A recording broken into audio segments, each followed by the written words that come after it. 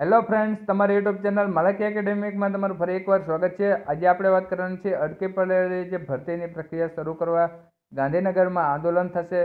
જે મહત્ત્વના જે સમાચાર છે એને લઈને આપણે આવ્યા છીએ. તો આજે આપણે આ વિડીયોની માથે જે ચર્ચા કરીશું, તો એ પહેલાં તમને એક વાત કહી દઉં કે હજુ સુધી જો તમે અમારી ચેનલને સબસ્ક્રાઈબ ન કરી તો સબસ્ક્રાઈબ કરી દેજો અને બાજુનું હતું બેલેકન પણ દબી દેજો, જેથી કરીને તમને દરેક નોટિફિકેશન સૌથી પહેલાં મળતી રહે એટલા માટે તો ચાલો આપણે વિડીયોની શરૂઆત કરીએ તો કે શહેરમાં પ્રવેશતા મુખ્ય રસ્તાઓ પર બેરિકેડ્સ જે છે, અટકી પડેલી ભરતી પ્રક્રિયા શરૂ કરવા ગાંધીનગરમાં આંદોલન થશે. તો કે સરકારના વિવિધ વિભાગોમાં અટકી પડેલી ભરતી પ્રક્રિયા પુનઃ શરૂ કરવા સહિતની વિવિધ માંગ સાથે રાજ્યના શિક્ષિત, બેરોજગાર યુવાનો ગાંધીનગરમાં પડાવ નાખીને આંદોલનનું રણસિંગુ ફૂંકે તેવી શક્યતા છે. આ સ્થિતિમાં પોલીસ સફાળી જાગી છે. રવિવારે ગાંધીનગરના વિવિધ વિસ્તારોમાં પોલીસોનો ચુસ્ત બંદોબસ્ત ગોઠવી દેવાયો હતો.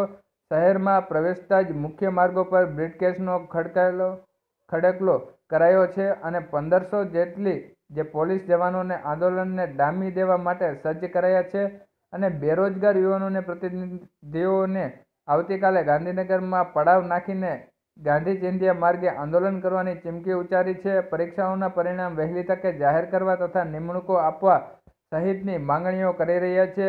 આ માંગણીઓના કોરોનાના કારણે ચાર મહિનાને કોરાણે પડી રહી હતી.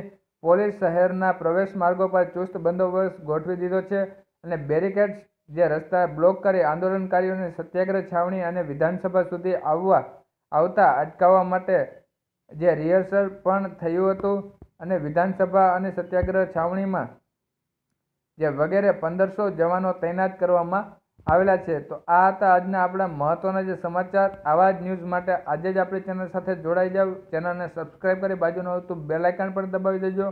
અને આ વીડિયો તમને સારો લાગ્યો તો જરૂરથી લાઇક કરજો અને આ વિડીયોને વધુમાં વધુ શેર પણ કરજો. તો બસ વિડીયોમાં આટલું જય હિન્દ, જય ભારત.